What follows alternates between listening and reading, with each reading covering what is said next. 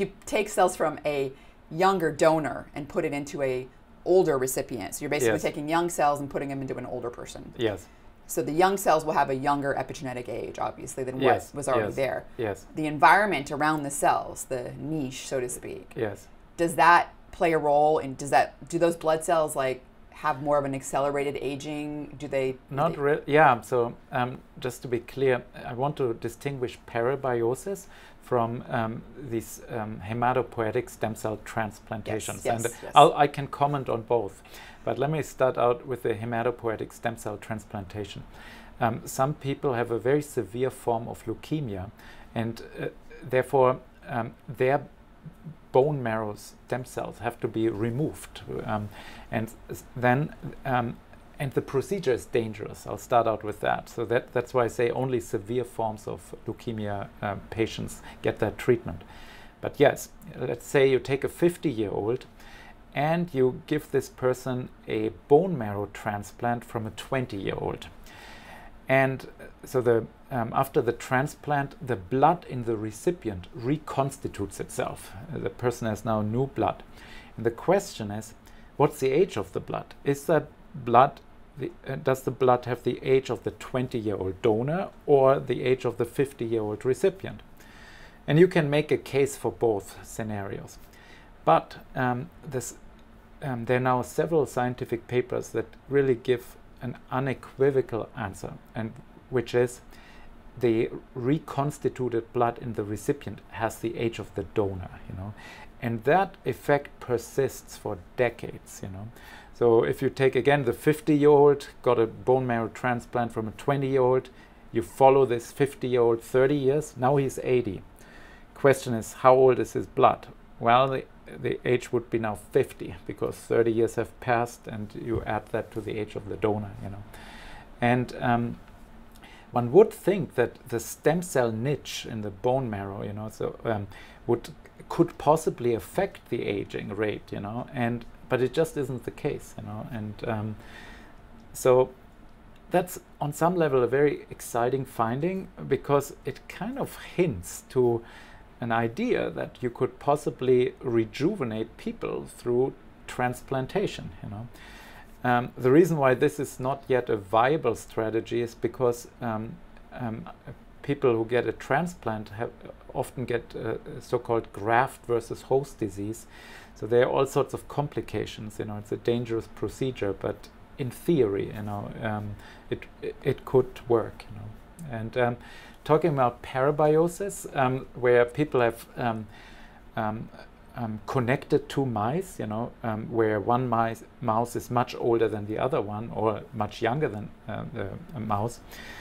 Um, we just recently analyzed um, parabiosis mice, you know, it's unpublished, and um, we found um, two um, results. One corroborates things and one refutes it, okay? but just um, to explain it, so we looked at cortex and also subventricular zone, deep white um, matter in the brain. And we found that mice that were a young mouse that was connected to an old mouse actually aged faster according to an epigenetic clock um, in mice. So that part confirmed these uh, parabiosis experiments. So in other words, you can age a young mouse. Um, but that's not what people are interested in. They're interested in the opposite. You take an old mouse and you connect it to a young mouse, and then you study the brain of the old mouse, and you want to see that the brain is rejuvenated, you know.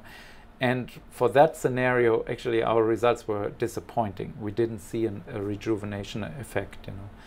And so now we're trying to get additional data because um, our first study um, was underpowered, but um, one of these months we will have a definitive answer. You know. Yeah. Mhm. For, you know, s- some of these animal studies are really good for trying to understand mechanism and Yes.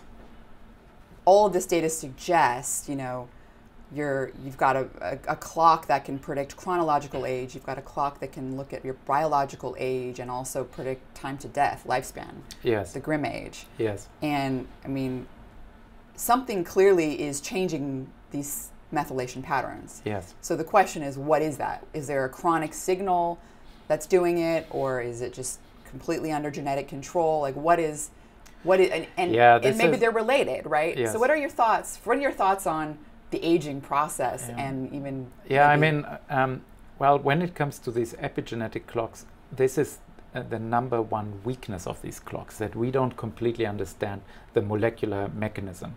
And coming back to telomere length, that's a great advantage of telomere biology. We really understand very well what regulates telomere length, you know. Um, but yeah, with the epigenetic clocks, um, this is a very active area of research. Uh, top biologists and labs are uh, working on that very question, you know. And there are many theories.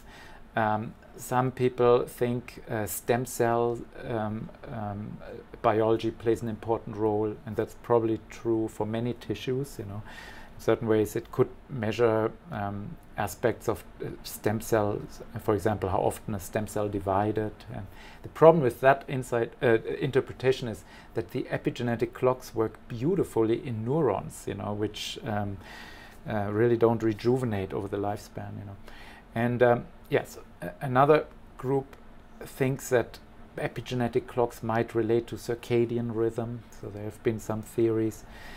Um, some people um, now, I believe that um, also processes that play a role in development must be um, must be playing a role here, and the reason is because um, the um, my original pan tissue epigenetic clocks works actually beautiful in prenatal brain samples. It works beautifully in, in, in various in vitro studies of so-called three-dimensional brains, you know, or in, in or in retina samples.